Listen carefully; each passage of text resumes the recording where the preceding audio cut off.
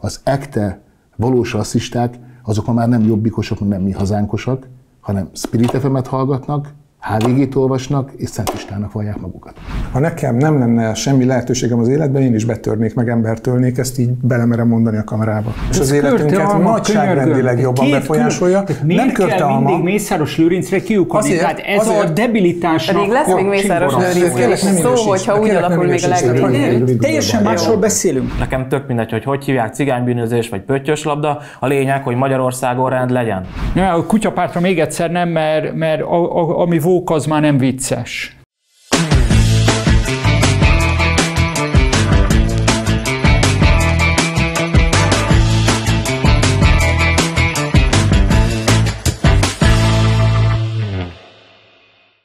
Nagy szeretettel köszöntök mindenkit a Nyílt Sisak legújabb adásában. Én Tikvicki Dóra vagyok. Ahogy az előző adásban megígértem, folytatjuk az utolsó témát, ami arról szólt, hogy mennyire diszkriminatív a cigánybűnözés kifejezés, és hogyan lehet beszélni erről a problémáról, ha egyáltalán van probléma.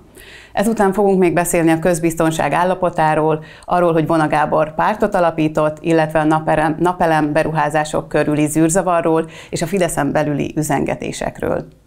A mai vendégeim pedig Magyar Dávid rádiós műsorvezető, Siffer András ügyvéd volt országgyűlési képviselő, Ábrahám Robert média személyiség, és Horváth Tamás a Magyar Jelen főszerkesztője. Köszönöm szépen mindenkinek.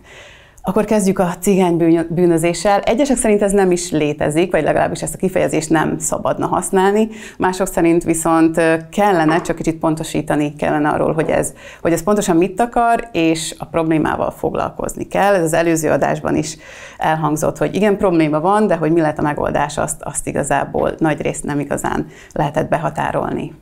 Tamás, mit gondolsz? Hát szerintem egyértelmű, hogy létezik cigánybűnözés, mindenki tudja, vagy legalábbis az emberek 95%-a tudja, hogy mire gondolunk. Az tény, hogy bizonyos szociológiai tanszékeken, meg egyéb belpesti értelmiségi körökben itt ugye a szavakon lovagolnak, meg mondjuk Kövér László 5 millióra megbünteti Novák elődöt, mert kimondja ezt a szót, holott szerintem magáról a problémáról kellene megbeszélni, tehát nyilván Budapesten is, de főleg a a, a vidéki településeken mindenki tudja, hogy miről van szó, vannak olyan bűncselekmények, amelyeknek az elkövetői javarészt cigányok. Ez nem azt jelenti, hogy minden cigány bűnöző lenne, tehát cigányzenéről is beszélhetünk anélkül, hogy azt mondanánk, hogy minden cigány zenész, tehát ezt nem kéne kiforgatni. Ez arról szól, amiről szólt a 70-es, 80-as években, mint rendőrségi szakkifejezés, hogyha meg akarjuk oldani ezt a problémát, akkor igenis beszélni kell arról, hogy ennek többségében van egy etnikai vetülete, és pontosan egyébként a normális, beilleszkedni vágyó, dolgozó cigányok járnak a legrosszabbul azzal, hogy ezt a témát ezt a, erről a témáról nem beszélünk, illetve, hogy azok a cigány hangadók, akik egyébként az értelmesebbek közé tartoznak, ők ilyenkor nem szólalnak meg, amikor mondjuk egy súlyos bűncselekményt követel egy, egy cigány származású elkövető, és ezáltal bélyegzik meg a normális cigányokat is, úgyhogy szerintem erről a, témáról mindenképp beszélni kell, és azt látjuk, hogy egyre többet kell beszélni, mert egyre, egyre több ilyen bűncselekmény van, és ugye még a rendőrséghez nem is biztos, hogy minden esetben eljut az információ, vagy történik feljelentés, de hát ugye csak az elmúlt hetekben is láthatjuk, hogy Szabó Sándor kiváló ökölvívót és edzőt ugye megkéselték Békés Csabán, ugye Körösladányból jöttek a hírek egy brutális bűncselekményről, egy 69 éves idős nénit megerőszakoltak és fogva tartottak, tehát ö, sajnos erről egyre többet kell beszélni. Dávid? Szerintem ez nem, ez nem egy etnikai, nem egy genetikai probléma hanem e, e, igen szociológiai, és nem vagyok belpesti libernyák, aki nem látta még a világot. Szerintem Alapvetően nyomorbűnözésről beszélnék ebben az esetben, tehát én nekem a szomszédom, az egyik szomszédom cigány, semmi baj nincs vele, ahol én élek a falunkban. De én is erről beszéltem. Rengeteg beilleszkedett, jól funkcionáló középosztálybeli cigányt ismerek, és tudom, hogy te is erről beszélsz, mégis ez a kifejezés őket is sérti. Ez ő rájuk is ugyanúgy rájuk tapadt. Tehát amikor erről így beszélünk, a cigány bűnözés, akkor ezzel, ezáltal ők is érintve vannak. De most ne haragudj, hogy félbeszakítalak, aztán nyugodtan folytass, hogy a fehér galléros bűnözésről beszélünk, akkor minden fehér galléros ember bűnöző? Ne, nem gondolom nyilván, de ez olyan tudod, mint a 90-es években volt az a kifejezés, hogy vállalkozó, és akkor mindenki tudta, hogy a vállalkozó az igazából mafiózót jelent, és amikor azt mondtad volna, mondjuk van egy BT-d, és azt mondtad, hogy vállalkozó vagy, akkor az így nem, nem mondtad, mert ez, ez, így, ez így összemosodott. Tehát, hogy a szavaknak ereje van, nem véletlenül él vele ez a kormány is, hogy, hogy olyan szavakat gyárt, meg olyan, olyan kifejezéseket dob be és, és erőltet a köztudatban, amik, amik számára ö, számára megfelelő pszichológiai teret teremtenek. Tehát ilyen például a menekült helyett a migráns.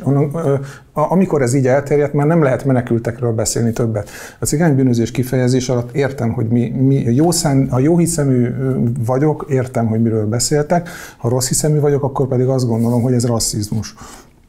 Szerintem ez egy nagyon összetett probléma, és én, én alapvetően arra, arra próbálnék menni, hogyha megoldást kéne keresni. Tehát szerintem nem rendészeti. Nem az a lényeg, hogy ezeket az embereket, akik nyomorban élnek, erő, erővel, erővel ott tartsam a putrikban, hogy ne tudjanak bűnözni, mert úgy is fognak. József, pillanat, ezt befejezem.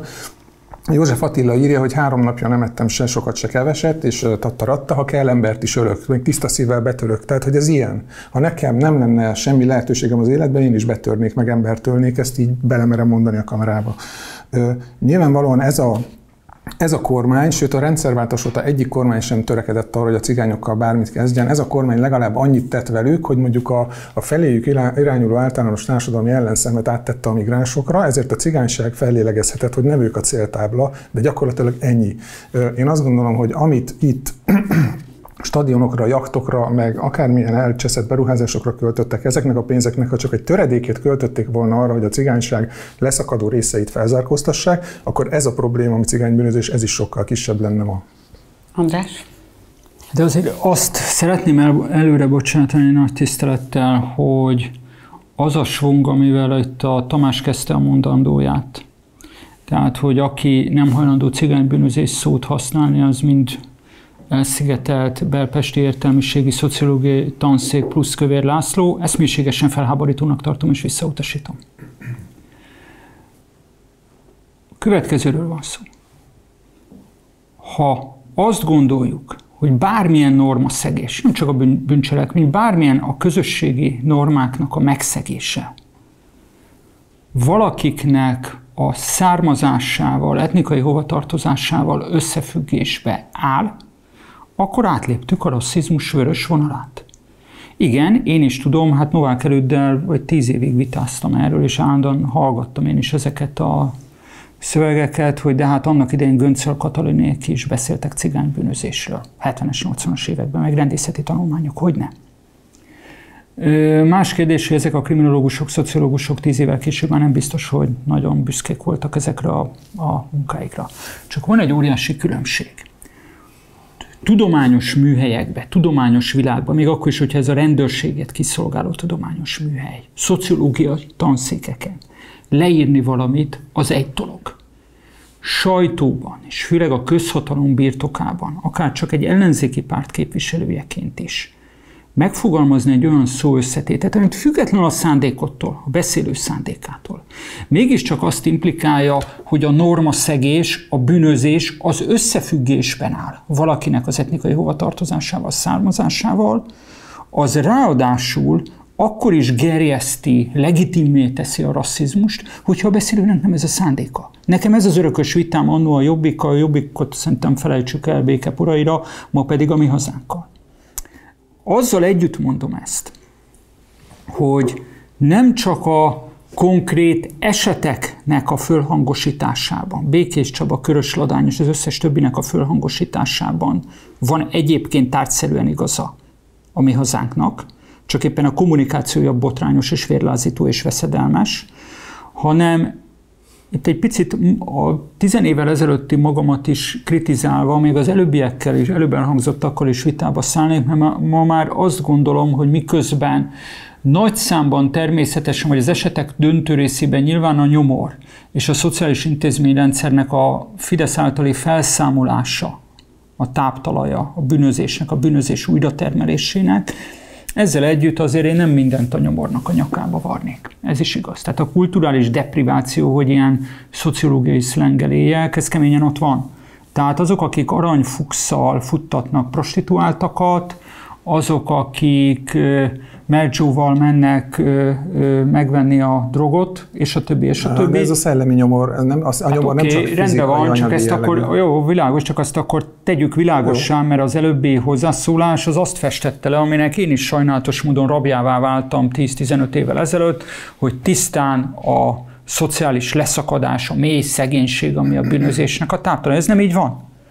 Amibe tárgyszerűen a mi hazánk képviselőinek igazuk volt, vagy igazuk van, hogy igen, vannak, mint ahogy Érden, számtalan helyén az országban, még a fővárosban is, vannak olyan családok, gengek, bűnöző életmódra berendezkedett személyek, akik rettegésbe tartanak békés polgárokat. Úgy, hogy a rendőrség fejre, címre pontosan tudja, hogy kikről van szó, és nem tesz semmit. De most Ez nem, botrány. Most, most nem felcsútról beszélsz.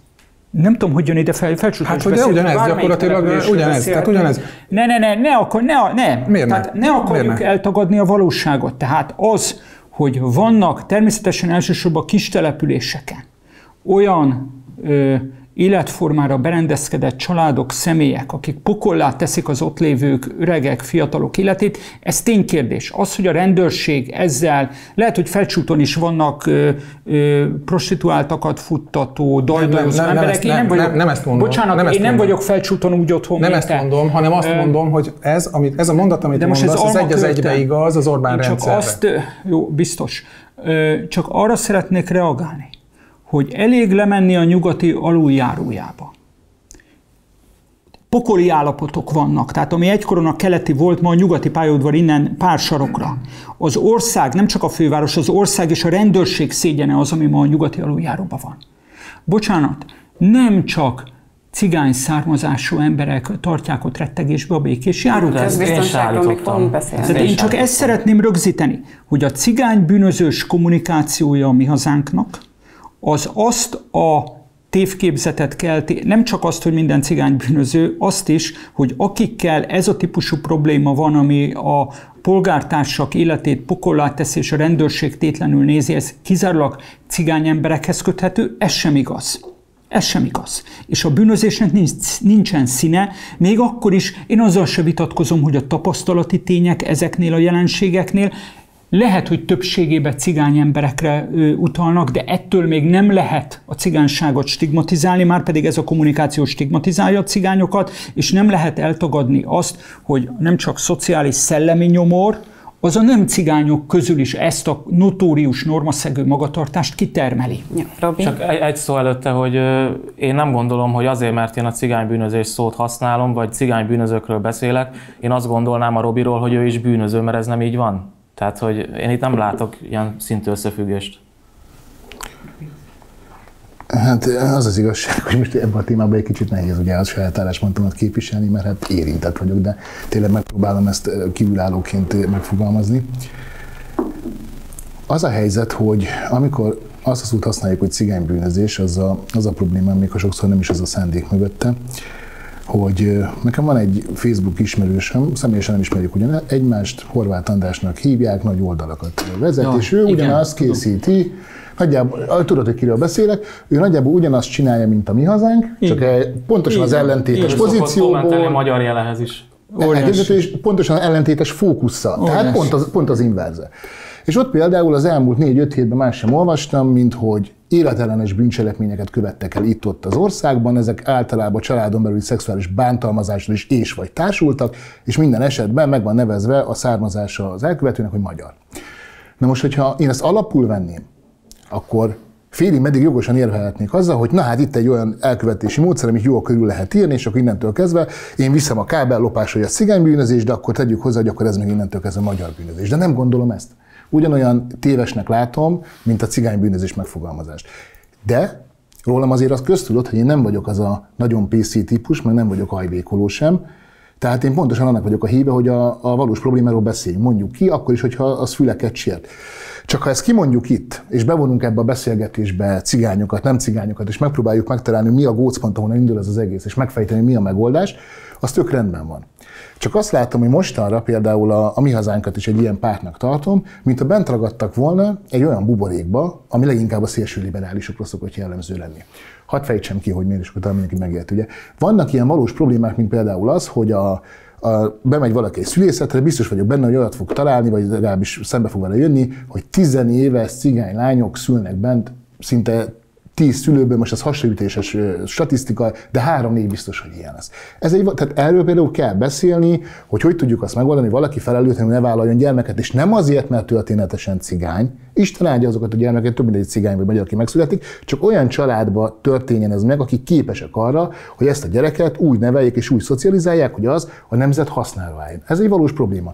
Az is valós probléma egyébként, hogy az országban nagyon sok olyan térség van, kisfalvak. Én egy Hajdubihar megyei kisfaluban nőttem fel, hát én testközelből ismerem, és nem olvastam, és magam is érintett vagyok a dologban, ahol bizony mindaz, amit itt, itt meg szoktak fogalmazni a túloldalról, kritikaként, most gondolok a mi hazánkra, nagyon sok mindenben valós alapja van, de nem lehet mégsem kijelenteni, hogy ez egy az egyben cigánybűnözés, mert én például tudom és láttam, hogy azok, akik azon a helyen mondjuk magyarként szocializálódnak ebben a környezetben, ugyanolyanokká válnak. Tehát, hogy ezt sem tudom kijelenteni.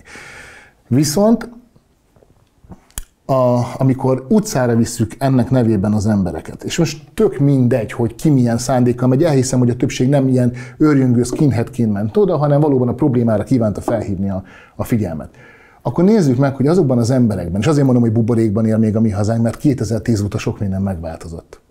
Azok az emberek ugyanúgy fenyegetve és sértve érzik magukat, akiknek a világon semmi köze, sem késelésekhez, sem hangoskodáshoz a villamoson, sem semmilyen ilyen dologhoz, hanem mondjuk rendvédelmi szerveknél nagy számban elhelyezkedtek, mert 2010 óta ez megtörtént, hogy ma már a rendőrség is tele van cigány munkavállalókkal, az egészségügy is tele van cigány munkavállalókkal, az egyetemeken már nem fehér holló ritkaságban megy az, hogy cigány hallgatók vannak. És ezek az emberek ezek ráléptek a békés együttélés útjára, amit sokáig, évtizedeken keresztül a szüleik valamiért nem nem tudtak megtenni.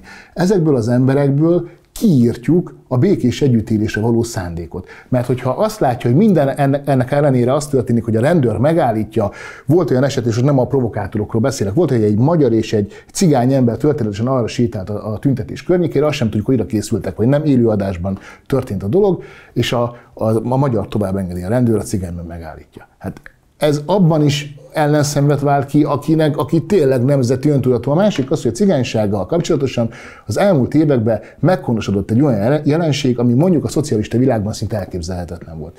Nemzeti identitáshoz kezdenek jutni cigány fiatalok, és ennek részben a politika is elősegítője volt, mert mégiscsak több munkahely van, több lehetőség, cigányként is találsz munkát, ha Magyarországon, aki ma dolgozni akar, az tud.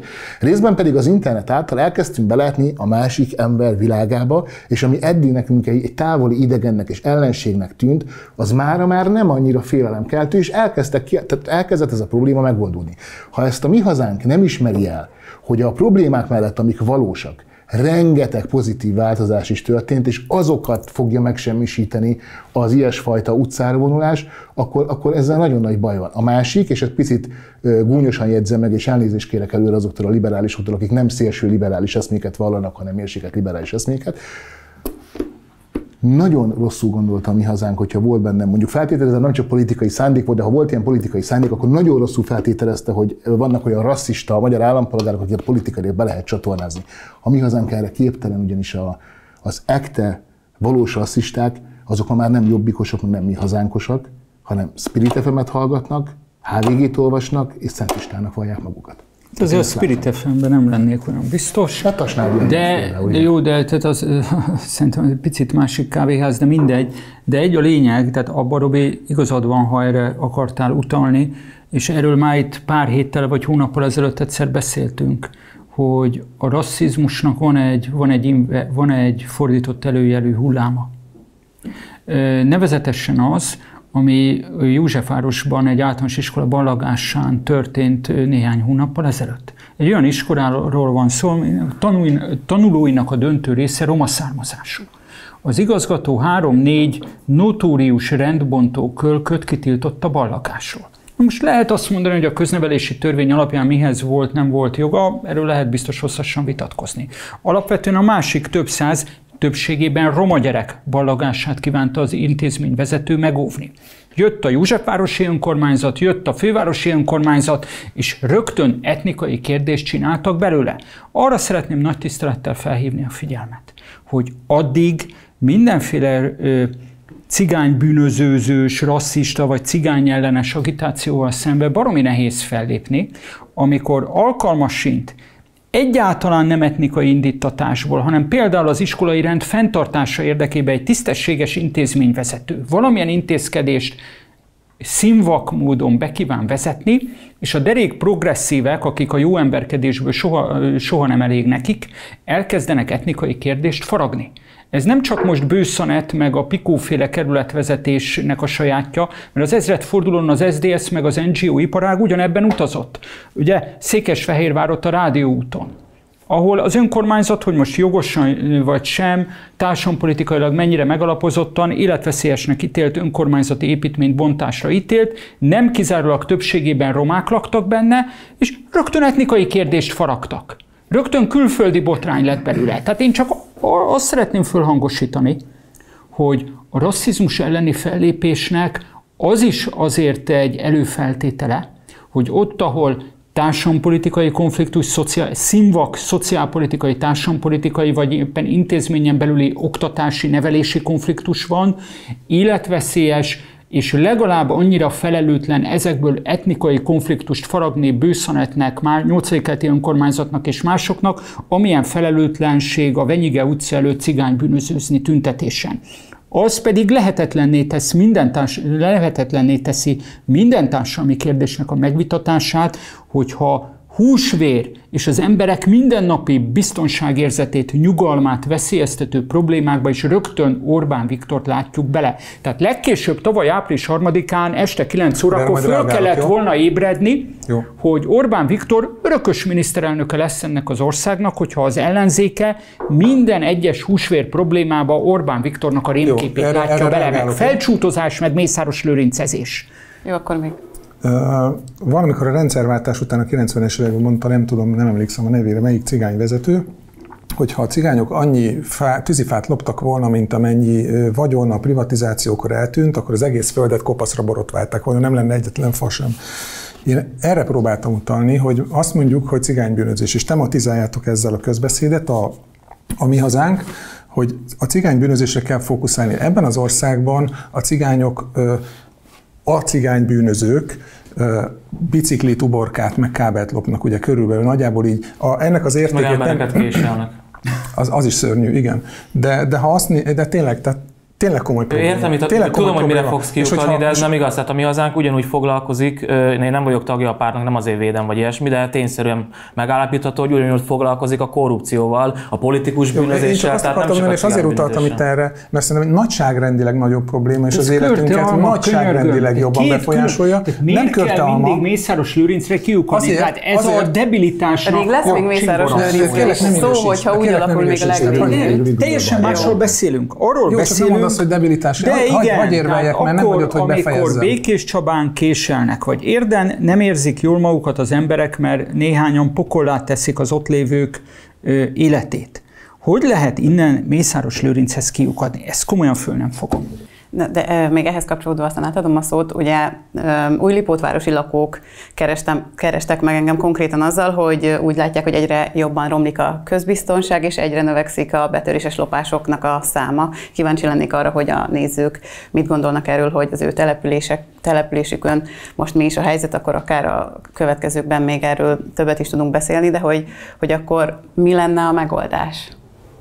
Csak mellékesen érzem meg, hogy én magam is új városi lakos vagyok, de egyébként én azt nem, nem érzékeltem. Hát nagyon remélem, hát nem érzékeltem, akkor lehet Hozzád betört Mészáros Lőrinc. Nem, nem, komolyra, visz, tehát komolyra fordítva a dolgot, mert ebben még nagyon sok minden van, és szeretnék én is azért reagálni. Andrásnak abban nagyon-nagyon-nagyon mélységesen igaza van, az a probléma gyökerének megoldásának az egyetlen kulcsa, hogy ott viszont, ahol nincsen ö, semmilyen rasszizmus, ott ne kezdjünk el azt kiáltani. Ugye én erről korábban már beszéltem, amikor nem csak budapesti iskolákban, országszerte, bármely iskolában, hogyha mondjuk azt mondják, hogy van itt 7-8 gyerek, akivel egyszerűen nem lehet bírni, és a többi gyereknek a haladását veszélyezteti, és azokat mondjuk elkülönítve fogják oktatni, de ez nem azért történik meg, mert cigányok, hanem azért, mert nem tudnak viselkedni, akkor azért, hogy történetesen mondjuk ők cigányok, hát azért vessenek magukra a szülők. Hát pontosan. Mert ez egy, ez egy szocializációs probléma. Akit megtanít számítanak a szülei, az tök mindegy, hogy cigánynak születik, vagy nem cigánynak, abban teljesen normális ember lesz. És pontosan ezért kell nagyon óvatosan bánni a mi hazánknak is ezzel a dologgal, mert ez a rész az, ami sérülékeny, mert hogy elindult valami változás. A megoldás pedig az, hogy ki kell igenis mondani, nem kell elbagatelizálni azokat a problémákat, amik nem bagatel szinten vannak, ki kell mondani, és azokat úgy kell tudni felszámolni, hogy nem kezdünk el érzékenyek lenni, de ugyanakkor még mégis egy alapvető tiszteletet a másik oldalán meg kell tartani.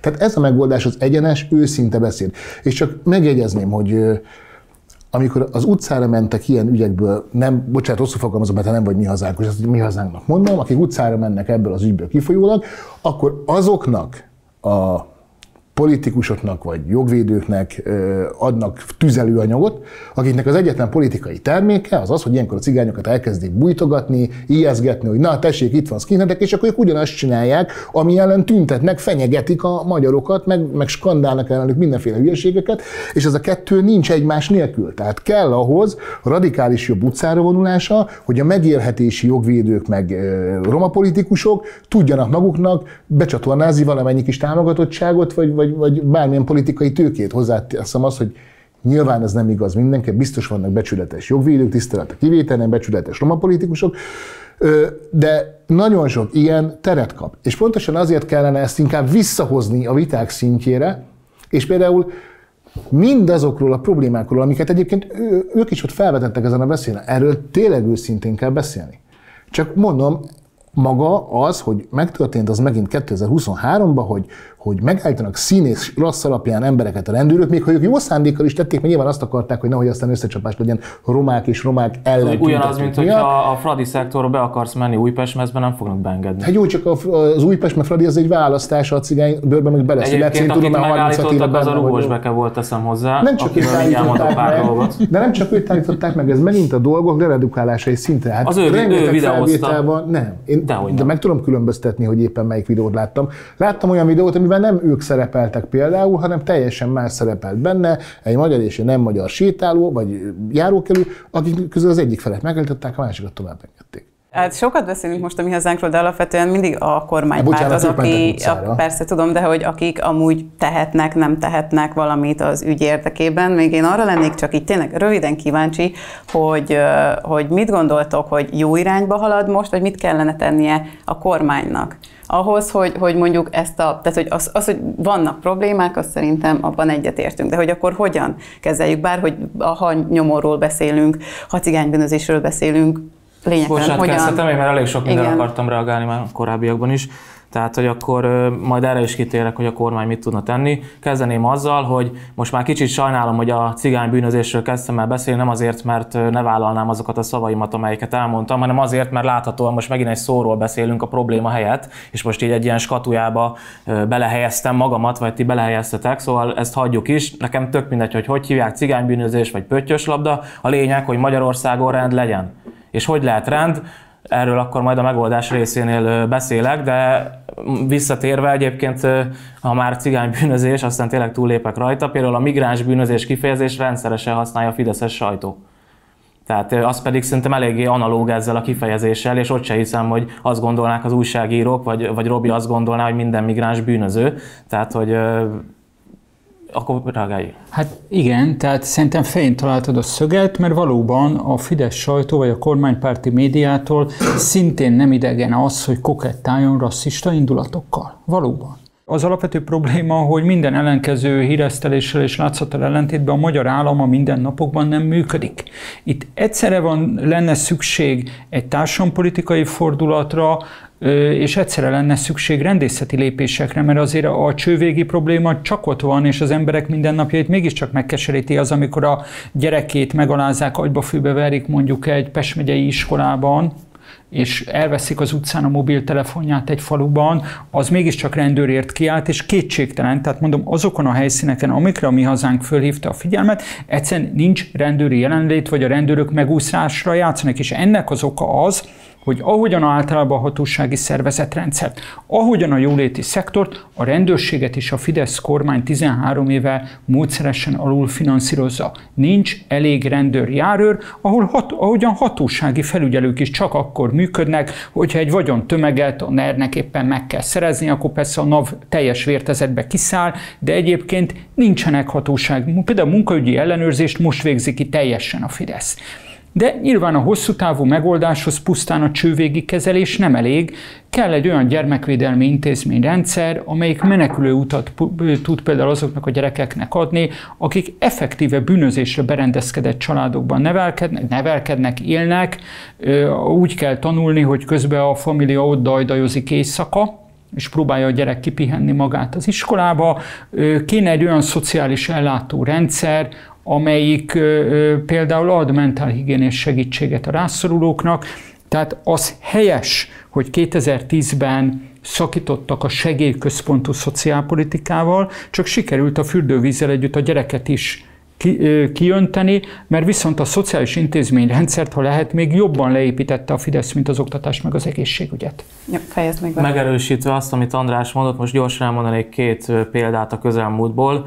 Két Győrmoson, Sopron vármegyei településről van szó, tehát ez nem is Borsod, vagy mit tudom én, Heves vármegye Szanyon az történt, hogy volt, voltak problémás cigány családok, és egész egyszerűen nem tudott vele mit kezdeni a polgármester, a rendőrség nem foglalkozott a kérdéssel, és sőt a rendőrség azt javasolta a polgármesternek, hogy hívják oda a betyársereget, mert akkor majd annak lesz foganatja, és így is történt. Kiment a, sőt nem is kellett kimenni a betyárseregnek, bocsánat, már csak a híre elköltöztek onnan ezek a cigány családok, és megoldódott a probléma. Egy másik konkrét eset, ebből hamarosan egy, egy videós riport is fog megjelenni a magyar jelenen. Magló Lócán, ami ott van nem messze Szanytól, az is Györmoson, Sopron vármegye, évek óta problémát jelent az, hogy egyébként ott nem magyarországi cigányok, hanem román cigányok költöztek be abba a faluba, és vannak magyarországi cigányok is, akikkel semmi probléma, tehát ebből is látszik, hogy ez nem egy rasszista megközelítés.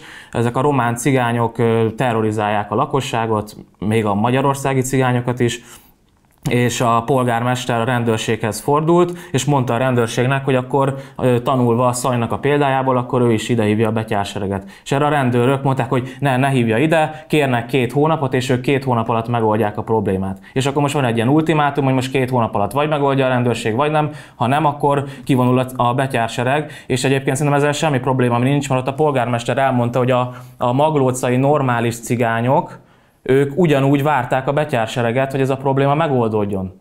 Tehát, hogy ezért mondom, hogy ez annyira nem, nem annyira egyszerű ez a helyzet, meg nem feltétlenül itt rasszizmust kell egyből kiáltani, hanem vannak problémák, amiket meg kell oldani, és visszatérve a tüntetésre, tehát ott én legalábbis rugós bekét láttam, hogy ott nem engedték át, aki egyébként folyamatosan bemindenezve élőzött, miközben tartott a rendezvényre, és arról beszélt, hogy ott egyedül neki megy a torockainak, meg mit tudom én, mit, miket mondott, majd a rendőr sorfal előtt lépkedve mutogatott nekik, meg üvöltözött, tehát ezek után egy ilyen embert én sem engednék oda a rendezvényre, ne haragudjál, és ezt követően ugye ez a Rugós Bekke nevű ember, aki a, a Mészároshoz köthető TV2-ben most milliós fizetésért fog szerepelni a Starban Starban, ugye megfenyegette a betyársereget, meg kutyázta őket, meg minden, és hogyha megnézzük a tartalmait a Facebookon, szerintem most lehet, hogy konkrétan magyar gyűlölő kijelentései nincsenek, de folyamatosan hergel, és ezt a magyar cigány problémát próbálja kiélezni. De beszélhetnénk Bangó Attila Indiáról, aki egy DK-s aktivista, aki egy live-ban arról beszélt, hogy szétvágja a torockait egy karddal. És ennek semmiféle következménye nem lesz. Most ha én erről beszél, hogy szétvágja a torockait egy karddal. Ilyen de miért nem viszi a, a rendőrség? Erről beszélek, akkor de érted? Tehát te, te is elmondod az előbb. Azok a problémák, amiket ti megneveztek, jogosan, azok többségében a többségi cigány embereket is ugyanúgy sújtják, Tudom, mint a nem cigányokat. És ezért lenne jó, hogyha mondjuk például te felszólalnál ezekben az ügyekben. Fel is szoktam, például, amikor volt a eltéri késelés, és felszólaltam, és abban a tudatban, hogy cigányok voltak az elkövetők, és kiálltam az mellett, hogy a média Igen. ne titkolja, hogyha a származásuk cigány ezeknek az embereknek, mert ezzel csak feszültséget kelt a társadalomba, és én annak vagyok a híve, hogy beszéljünk egymásról őszintén, és akkor nem gyűlik fel bennünk, tudod, ez a feszültség.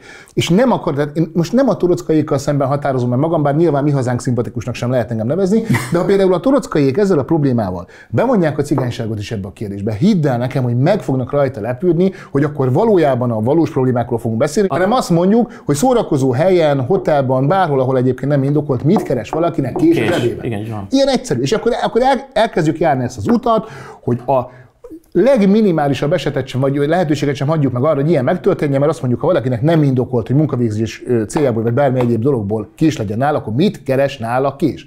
És akkor fel, vagy megkönnyebb hozzáteszem, sem a tüntetésen, sem az ilyen vitákban egyébként azért nem látnak a nagy közönség olyan túl sok normális cigánycsaládot, mert azok a cigánycsaládok nem vesznek részt az ilyen dolgokban, mert dolgoznak, Érted? Tehát kivonják magukat a közéletből, és ez, ez valóban nem helyes, tehát hogy nekik is kellene hallatni hangjukat, és én ennek vagyok a, a híve, hogy minél több cigányember szólaljon fel, amikor valós problémáról beszélünk, és ne súnyogjon ebben a témában, mert van probléma. Én ezt nem tagadtam soha. Egyébként Csak ez, ez az utolsó hang, amit most megütünk, ez sokkal közelebb van a megoldáshoz, mint az, ahogy tényleg elkezdünk, de azért kell vitatkozni ezen a, ezen a szó, hogy cigány, nem cigánybűnözés, mert Azért megsértjük vele szón azokat, és nem, ne, tehát nem csak megsértjük, eltapossuk benne a törekvés iránti vágyat. Én egyébként akinek semmilyen segítséget nem nyújtanak abba, hogy beilleszkedjen a társadalomba. Én tényleg onnan jövök, ahol mindenki csak hazudja magát, hogy felnőtt. Én két naponta válhatnék magyar gyűlölővé, hogyha egyébként hagy, engednék azoknak a provokációknak, amiket velem szemben megengednek. Ugyanezt, ugyanazt az önmérsékletet, amit én tanúsítok a, a nem cigány társadalommal szemben, ezt meg kell tennie a mi hazának is a cigánysággal szembe, és a, a sokakért a kevesekkel szemben engednie kell valamennyit, és nem abban, hogyha hazudja el a problémákat, csak abban, hogyha ez az egyetlen szó használata ennyire káros tud lenni a célelérés érdekében, akkor fog, fontolják még egyszer a mi hazánk, hogy ez helyes út, vagy nem helyes út, mert utoljára elmondom, nem feltételezem, hogy egyébként az a párt csak rasszistákból és skinheadekből áll. Nagyon gyors három mondat. Egyrészt azért szerintem az ok okozatisággal is tisztában kell lenni. A második mondatom az, hogy Torockai László a beszédében is elmondta, hogy egyébként várja cigány vezetőknek, han- hangadóknak a jelentkezését, akikkel olyan konstruktívan tud erről a témáról beszélni, mint történt az azt hiszem Török Szent Miklóson annak Erről idején. nagyon helyes egyébként. Ö, igen, és a harmadik pedig az, hogy sok esetben ezek a, ezek a cigány jogvédők, akikről már beszéltünk, meg ezek a Bangó Attillák, meg a Brugósbekék, pont, hogy a cigányok, egyrészt a cigányok megítélésén rontanak, másrészt például Száva Vince esetében, aki nem tudom, hogy elhatárolódtál-e tőle valaha, vagy hogy így, De miért kéne a Robinak de de azért, mert van? mi azért, van de most, most jön a lényeg, most jön a lényeg, mert sajnos Száva Vince nagyon sok kevésbé tájékozott, nyomorban élő cigány embert keres meg, és jogvédelem címén milliókat szed ki belőlük. Tehát a cigányokat károsítja meg. Figyelj, Én nem ismerem a- ahogy, ahogy te Akkor én fogok mindjárt Mészáros Hagy- hagy- hagy Lőrinchez, bocsánat. De, hagy Te mondjak, nem, nem, nem. elhatárolódtál Mészáros Lőrinctől? Magyar embereket károsít meg. De nem, ahogy az előbb te úgy érezted, hogy irány. ahogy az előbb te úgy érezted, hogy a cigánybűnözés kifejezésre rászálltunk mindannyian, és téged beszorítottunk egy skatujába, úgy most ugyanúgy érezhető magát amiatt, hogy neki miért kéne elhatárolódni a minden De nem, nem bűnözőtől, mondom. akihez semmi köze nincsen, mert hogy épp ezt vitatjuk meg, hogy semmi köze nincs hozzá, mert én, engem nem érdekel, hogy, hogy az ő ősei ugyanúgy Indiából jöttek Oké, ide de 800 én éve, nem semmi köze nincs hozzájuk. Csak tényleg, bocsánat, már tudom, hogy elment az idő, csak hogy ne, érts, hogy ne- nem maradjon a levegőbe. Tehát én a, a Robit, én azért sem azt mondom, hogy kértem, mert nyilván nem kérhetek tőle semmit, de hogyha mondjuk a Robi, akinek több milliós elérése van az interneten, és nagyon sok magyar és, tehát magyar és cigány ember is követi, meg felnéz rá, hogyha ő mondjuk azt mondaná, hogy ez a Száva Vince, ez egy kókler, akkor azzal nagyon sok, több tízezer cigányt megmentene attól nyomorban élőt, hogy ő mondjuk milliókat terhe- Bocsánat, várjál, Robinát. Tamás, én ha van szó, amit szívemből rühelek, ez az elhatároló, elhatároló Jó, életemben. én is rühelem. Akkor most lassan határolódjunk el a Hosszú hónapokat De ültem muszáj- a muszáj lesz parlamenti patkóban Novák előd mellett, nagyon kellemesen elcsevegtünk, elröhögtünk. Tudod, hányszor szólítottak engem föl, hogy határolódjak el Novák előttől? Soha nem határolódtam el tőle. Na csak, hogy ha már megnevezted, hogy kiktől kellene, vagy Nem, bármely- jó, ne, rossz szó, ez igazon az adás. akkor nem elhatárolódni, Értettem, értettem az üzenetet, csak, csak azt akarom mondani, hogy én például a Száva Vincének nem ismerem a, a napi programját, tehát annyit tudok, hogy néha szembe jön velem az interneten, látok tőle egy-két mondatot, de én ebből nem állapíthatom meg, hogy ő most a, elhangzottak vádak. Én nem, tehát nem ítélhetem őt, én azért úgy fogalmaztam, és én nem akarok nevekbe belebonyolulni, úgy fogalmaztam, hogy nyilván vannak olyan jogvédők, akik valóban elhivatottságból tesznek dolgokat, meg vannak olyanok is, akik kihasználják a helyzetet, és nem az én feladatom eldönteni, hogy melyik, melyik, akik kihasználják a helyzetet, azokat károsnak ítélem, akik komolyan gondolják ezt a dolgot, bár sok sikert még nem láttam ebben a jogvédősködésben, ezen probléma kapcsán, azokat meg nem fogom elítélni, és a Száva Vincét nekem, tehát tényleg nem vagyok vele tisztában az ügyeivel, és mondta nekem, anyagot. jó, jó, jó, jó, csak Jó, hogy, ezt, ezt majd megbeszélitek akkor. Jó, tehát abban megegyezhetünk, hogy a gurulókereket valahogy meg kellene állítani, vagy lelassítani, hát majd várjuk a megoldási javaslatokat többek között a politikusoktól is, és akár Vona Gábortól is, aki ugye most pártot alapított, ez még a forgatásunk idején egy pár órás hír. Ugye ők alapvetően azt mondják, hogy nem fognak belemenni az ideológiai harcokba, sárdobálásokba, hanem ügyek mentén fognak politizálni. Ki mit gondol, hogy ez mennyire fog így megvalósulni, mit lehet ettől várni? Próbáljuk meg ezt azért csak úgy röviden, összeszedetten. Akkor látom, hogy András már nagyon szeretne valamit mondani. El. Ne, nem fog. Senkitől soha az életben nem határolódtam, és nem is fog elhatárolódni, még Vona Gábortól sem. Ugye, nekem nehéz, a helyzetem, mert de egyrészt kicsit hasonló cipőbe járok, vagy hasonló előéletem van, mint Vona Gábornak, vagy a pár hónapja szintén pártot alapító Mesterházi Attilának, viszont nekem semmi se hiányzik jobban a hátam közepére, mint egy jó kis pártalapítás.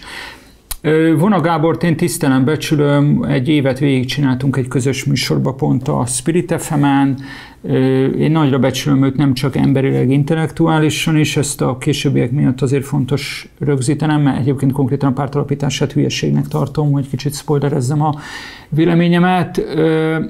Én azt is megértem, hogy ugye ez Attilára is, meg Gáborra is igaz, hogy szemben velem ők tényleg esélyes, tehát második helyezettek voltak, tehát első számú kihívói voltak a hivatalban lévő miniszterelnöknek, tehát hogy nekik egy, lehet, hogy még egyel nehezebb, hogy mondjam, hátrahagyni a ringet, mint, mint, mint nekem volt. Viszont hát én Egyrészt a csodálkozásomat kell kifejeznem, mert még a közös műsorunkban is, meg korábban is nyilvánosan a Gábor, hát világossá tette, hogy ő, ő azért óvatos, és először válaszokat szeretne találni a saját kérdéseire, hogy mi van a világban, meg mi van az országban. Én miközben a tisztességét, meg a, a műveltségét a Gábornak egy pillanatig nem akarom kétségbe vonni, a helyzet az, és ezt a saját példámon is, ha úgy tetszik, önkritikusan is mondom, hogy pártot az alapítson, akinek nagyon világos válaszai vannak arra, arra, ami ma a világban, meg Magyarországon, a magyar embereknek, meg általában az embereknek ezen a bolygón fontos. Én ezt a Gábornál nem látom. Ezt úgy mondom, hogy lehet, hogy a kényszer arra fog vinni jövő tavasszal vagy júniusban az EP választáson, lehet, hogy kénytelen leszek jobb hiány behúzni a, második reformkorra az X-et, ha nem lesz más. Nem lesz mondjuk az iszom, vagy valamilyen rendes baloldali alakulat. Nem, a kutyapártra még egyszer nem, mert, mert a, a, ami vók, az már nem vicces. Tehát az, az nálam kiiratkozott. De ezzel együtt én a Gáborral alapvető, tehát amit most itt felolvastál, vagy idézte, az alapvető vitám abban van, e, ezért én már a miniszterelnököt is 2010-ben egy parlamenti szónoklata után megszóltam, hogy micsoda hülyeség azt állítani, hogy egy párt nem ideológiák mentén működik. Mióta politika van, és főleg mióta parlament, többpárti parlamenti demokráciák vannak, ilyen, hogy ideológia nélküli párt, ilyen nincsen. Aki ezt mondja, előre is elnézést a Gábortól, nem megsérteni akarom, az egyszerűen hazudik. De nem pont a ezt mondja. második világháború utáni nyugati politika volt a legjobb példája annak, hogy nagyon népszerűvé vált, hogy mi szakértők vagyunk. Akik azt mondták, hogy szakértők hazudtak, mert valójában egy technokrata neoliberális politikát akartak ráerőszakolni a társadalmakra. Nincsen ideológiamentes politika, illetve lehet ezzel kísérletezni, nagyon becsületesen, és lehet, hogy a Gábor ezt nagyon őszintén mondta, csak az a baj, hogy akkor meg kudarcra van ítélve, tudnék az ideológiának, akkor is, hogyha megnevezik, akkor is, hogyha elsúnyogják, mint ahogy Orbán Viktor elsúnyogja, hogy ő valójában egy neoliberális társadalompolitikát valósít meg, annak orientáló funkciója van hogy az egyszerű ember függetlenül attól, hogy 8 általánosa van, vagy PhD-je van, fölismerje azt, hogy az ő életébe milyen változást hoz az, hogyha mondjuk Vona Gábor a miniszterelnök, vagy Orbán Viktor, vagy Márki Zaj Péter, vagy bárki egyéb.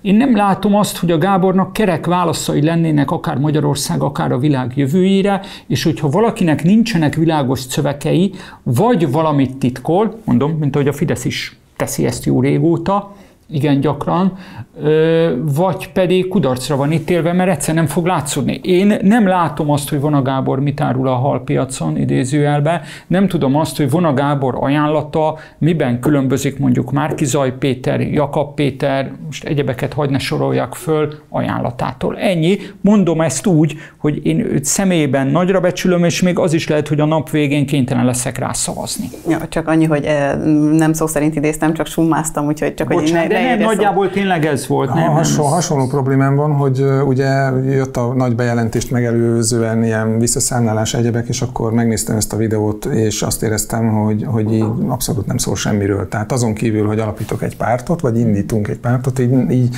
pontosan ezt éreztem, hogy nem látom a karaktert, nem látom az üzenetet, nem látom az ideológiát. Lehet, hogy még ők sem tudják, hogy mi az, amit akarnak képviselni, csak, azt, csak arra jöttek rá, mert ezt meg elfogadom, hogy lehet egy ilyen felismerés, hogy ezt, ezen a, ezen a, ebben a ringben, ezen a játszótéren, vagy, e, vagy ebben a politikai rendszerben semmilyen más módon nem lehet érvényesülni, csak mondjuk egy párt szervezeti keretei között. Oké, okay, lehet, akkor mondja ezt. Nekem az a bajom még ezzel, hogy most azt hiszem a 2022-es választáson 267 bejegyzett párt volt Magyarországon, tehát hogy nem, nem, nem érzem, hogy kellene még egy, és sokkal inkább Kellene. azt látom, és sokkal inkább azt látom, hogy az egész ellenzéknek is az a problémája, nem összefogniuk kell, hanem tömbösödni kéne, és olyan módon kéne tömbösödni, hogy azt mondani, hogy egy párt induljon, és az ez, és abban mindenki álljon Isten be. Oké, okay, de ez most egy, most egy más kérdés, de az, hogy 5, 6, 7, 8 párt, most még egy lesz, és nem, tehát szalámizódik, szeletelődik, málik, porlik, ennek nincs szerintem értelme. Tehát találjon a, a saját ideológiájához, vagy, vagy élet felfogásához legközelebb eső pártot, abba lépjen be a csoportjával, azon abban alapítsanak egy platformot, vagy valamilyen módon próbálják meg annak az irányát befolyásolni abba az irányba, amelyre szerintük jó, de újat csinálni ezen a piacon, ami eleve túltelített, szerintem tök fölösleges és káros. Robi? Hát nem tudom, egy picit nekem azért vicces, mert nem tudom, négy évvel ezelőtt, amikor pontosan kilépett a Jobbikból a Gábor, pár hónap telt el, és akkor nálam volt vendég, vagy vitánk volt, és ugye rákérdeztem arra, hogy lesz-e még valaha az életben miniszterelnök jelölt eljöhet ez az idő, és akkor azt mondta, hogy nem, határozottan nem. Hát ehhez képest most mégiscsak ezen az úton indultam, ami tök rendben van, mert ha a demokráciát játszom, akkor ez tényleg bárkinek a hessen joga.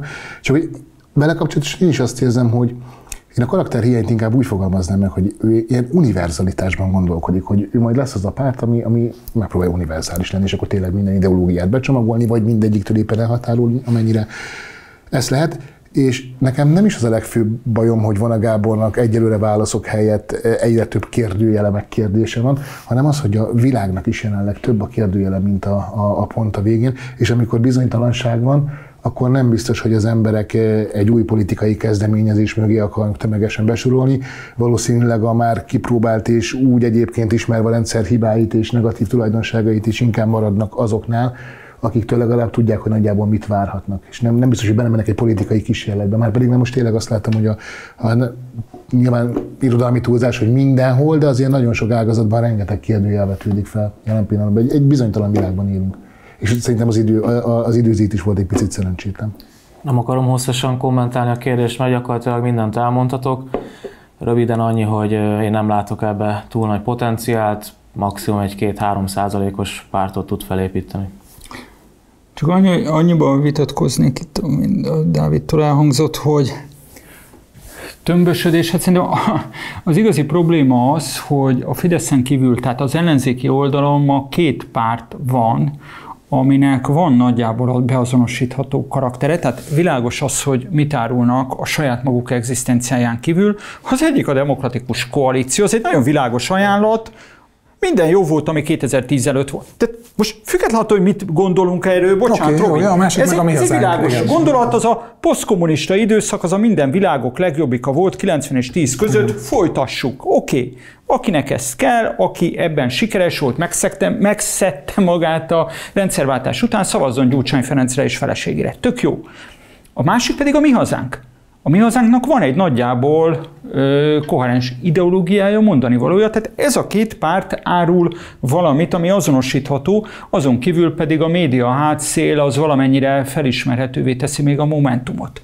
Az összes többi formációra én azért szoktam mondani, hogy zombi pártok, mert úgy csinálnak, mintha léteznének, valójában nem léteznek, hanem különböző személyeknek a teljesen naív és jóhiszemű magamutogatása van, vagy pedig nettó egzisztenciális kérdés, hogy XYZ is a politikából jó, akar de megélni. ha visszamegyünk oda, hogy, hogy volt az LMP, ami ketté, három felé vált, ugye lett a, a párbeszéd, Nem az LMP, róla. meg a, mi volt Hát a... ki- kiváltak a frakcióból nyolcan, abból lett a P nevű formáció, ami szociológiai értelemben nem egy létező párt. Én ma azt látom, hogy Magyarország, vagy a magyar parlamenti Csak azt akarom, politikát erősödött is általa bármi, amit, a, nem amit addig közösen képviseltek, Én azt utána mondom, a de nem, én szerintem egy dolog- kivált a mi hazánk, egy dolog- az is szétmálott. Szóval ideológiára szükség van. Ideológia nélkül a választó nem tudja az ajánlatokat beazonosítani. Az, hogy XYZ jól néz ki, szép, szimpatikus. De az ügy, de hogyha az ügyek ez egy nem feltétlenül ideológiamentesek, de hogy az ügyek fontosabbak, mert Magyarországon De én mondok, neked, mondok ez neked fontos ügyeket. Fontos ügy például, hogy mit gondolunk a koronakorlátozásokról és vakcinapolitikáról. Ebben a Gábornak az álláspontja, hogy egyébként a, parlament, a mi hazánkon kívüli parlamenti ellenzék álláspontja jobb esetben beazonosíthatatlan, rosszabb esetről most ne is beszéljünk. A másik fontos kérdés az a, az, az orosz-ukrán háború, illetve az amerikai-orosz konfliktus. Ebben szintén nem felismerhető sem a Gábor, sem a mi hazánkon kívüli ellenzéknek az álláspontja. Jobb esetben, rosszabb esetben nagyon is felismerhető. Ezek a fontos ügyek. Ezekben kellenek valakitől kerek egész válaszok, hogyha Annak színpadra lép. Én akkor Fontos már, ügyek. Azt én akkor akartam már klímakatasztrófát is azt akartam- fontos ügynek idehoznám.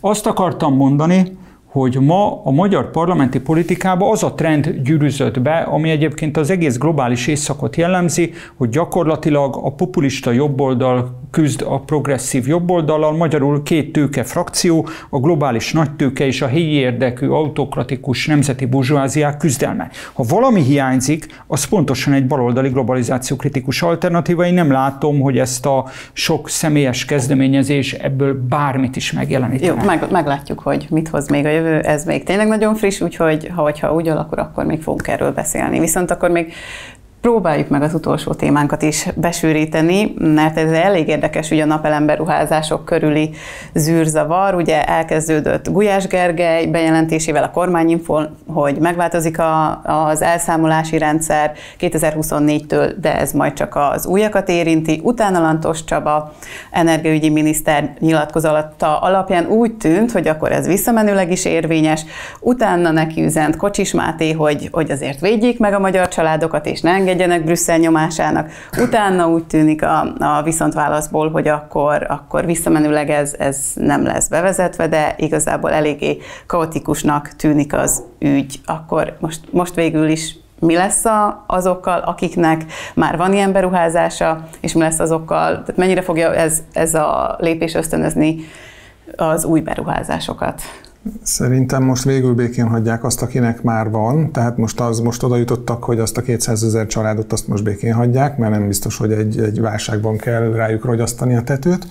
Ez biztos, hogy rosszat tett a, a szektornak, tehát a megújuló energia iránti kereslet az azonnal visszaesett, amikor, amikor ezt ugye meglebegtették, és mostantól már mindenkiben ott van a tudatában, hogy van egy olyan opció, hogy ezt, ezt bármikor kiüthetik, tehát szerintem most ez nem fog segíteni a terjedésben. Én, hogy, hogy ezt miért csinálták, én, én nem, nem nagyon értem, nem nagyon látom, de mondjuk így nekem felrémlik, hogy esetleg nem akarták, hogy Paks 2-nek alternatívája legyen az, hogy spontán módon az emberek saját pénztárcájukból megvalósítanak olyan beruházásokat, ami összességében termelés vagy ilyen kapacitásban akár lenyomhatja majd a tervezett atomerőművet. A másik meg az, hogy szerintem alapvetően a magyar hálózatot nem fejlesztették, elhanyagolt, vagy ilyen le, lerohadt, vagy elmaradott állapotban van, és egyszerűen ezt próbálták elfedni azzal, hogy hirtelen így egy stoppoltak. Mind a kettő. Mert, mert gyakorlatilag kettő. az EU-nak az is egy irányelve, hogy fel kell fejleszteni a hálózatot arra, hogy képes legyen ezeket kezelni, és ezt a magyar kormány elmulasztotta, miközben az elmúlt 20 év összes tendenciája alapján látszott, hogy bőségesen, szépen, egyenesen növekszik a megújulóknak a részaránya, tehát erre lehetett volna készülni, csak hát ugye nem foglalkoztak Ez vele. 2009 óta tudva levő, hogy erre, erre szükség lesz.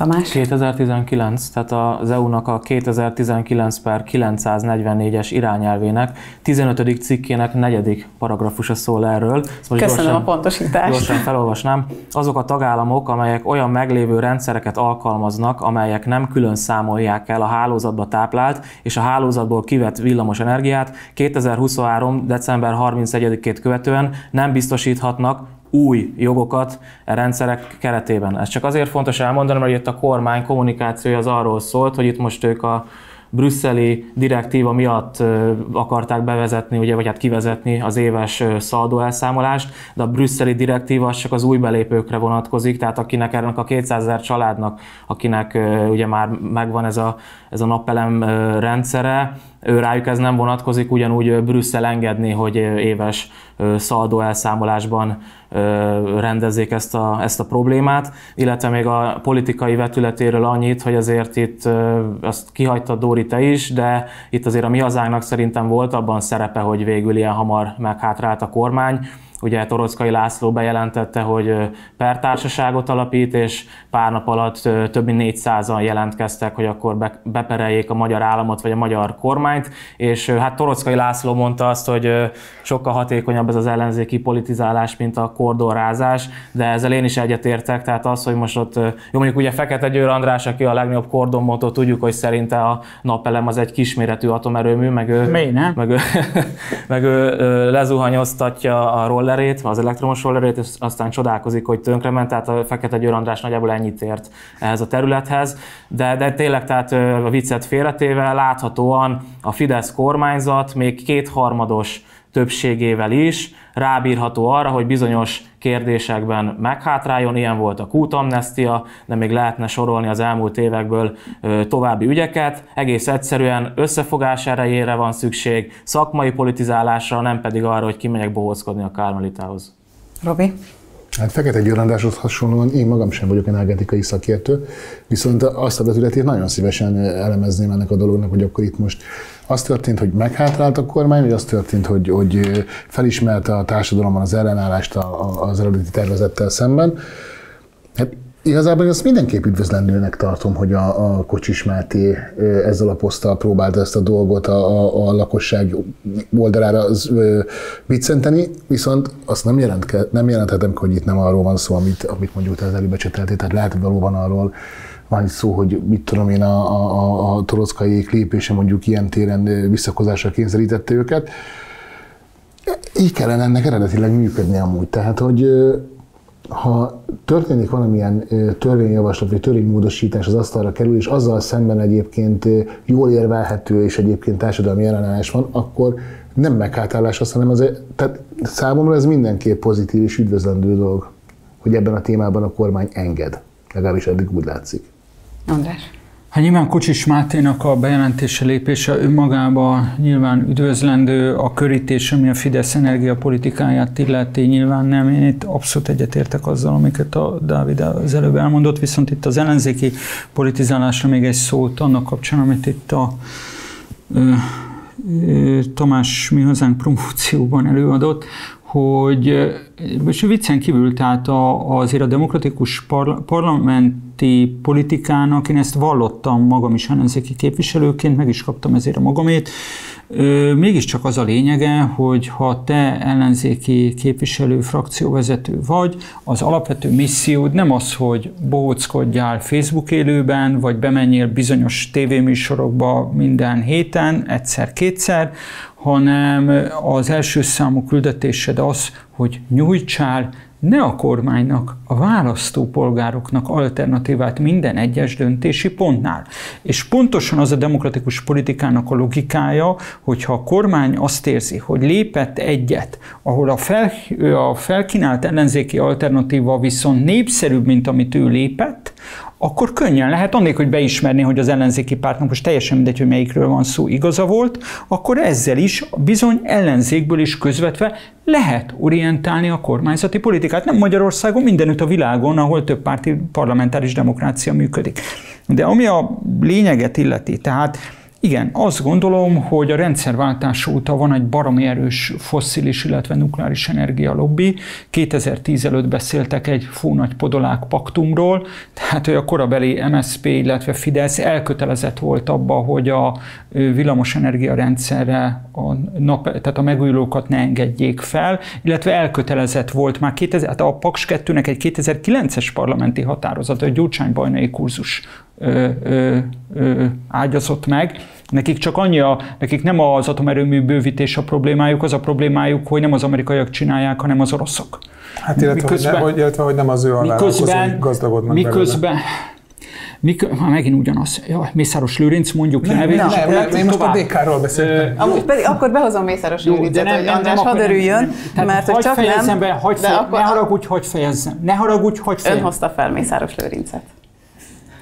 Jó, szóval szeretném befejezni. Tehát, hogy a ö, lényeg, hogy továbbra is egy olyan energiapolitika érvényesül Magyarországon, ahol láthatóan kizárólag a fosszilis és a nukleáris energiának biztosítanak teret, miközben az ország számára egy diversifikált és decentralizált energiarendszer lenne szükséges. A decentralizált azt jelenti, hogy nem egy központtól, és főleg nem egy külhatalmi központtól függ az ország energiaellátása, a diversifikált pedig az, hogy olyan energiaforrás, olyan sokféle energiarendszert, sokféle energiaforrást elsősorban megújulót kapcsolunk be a rendszerbe, amelyik tekintettel van az ökológiai eltartó képességre.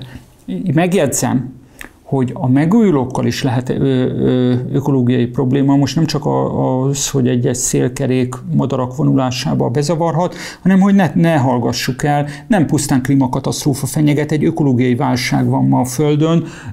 Nagyon sunyi módon ebből a klímaválságot kivágták két-három évvel ezelőtt, de amikor napelemeket meg szélkereket telepítünk, akkor is tekintettel kell lenni arra, hogy azoknak a nyersanyagát hogyan, milyen ökológiai költséggel állítjuk elő. Tehát ezért kéne egy decentralizált, diversifikált energiarendszer, de Magyarországon pedig azt a problémát nem lehet megkerülni, hogy nagyon hatékonytalan az energiarendszer, hiányoznak az épületfelújítási energiahatékonysági pro- programok, másik, sőt, és a villamos. És a villamos energia hálózattal kapcsolatban is a kormány a rezsicsökkentésnél úgy járt el, mint a ciripelő tücsök. Tehát, hogyha annak idején a, elvett extra profitnak akár csak egy kis részét a villamos energia hálózat korszerűsítésére használnák, már előbbre lennénk, már kisebb lenne most az energiaválság idején a családok kiadása, és könnyebben lehetne rá csatlakoztatni a, a ö, napenergiát. Na hát akkor, hogy András ne legyen ideges, akkor Mészáros Lőrincet mégse hozom fel, de Most érted, csak nincs értelme szerintem, hogyha egy fontos kérdést meg akarunk Mert már nem üti meg az vitatni. inger-küszöböt? Nem, hanem hogyha egy fontos kérdést meg akarunk vitatni, akkor nem kéne úgy eljárni, ahogy egyébként a parlamenti vitákban szoktak, hogy néhány kulcsszónak a bedobásával szétrolkodjuk, és akkor garantáltan nem tudunk lényeges kérdésekről vitatkozni. Akkor csak elmondom így a végére, hadd maradjon itt, hogy csak nem hat- 630 millió forint állami támogatást kapott, mindeközben napelempark fejlesztésre egy Mészáros Lőrinchez köthető cég, miközben 2021 óta nem lehet Magyarországon kereskedelmi célú napelemes erőműveket engedélyeztetni. Hát nyilván ez nagyon sok kérdést vetne fel, úgyhogy akkor ez csak így álljon itt, hogy vajon kell erről beszélni, vagy nem, megüti az inger küszöböt, vagy nem. Minden esetre köszönöm szépen mindenkinek, hogy eljött és ezeket elmondta. És köszönöm szépen a nézőknek is, hogy velünk tartottak, tartsanak velünk legközelebb is. Viszontlátásra!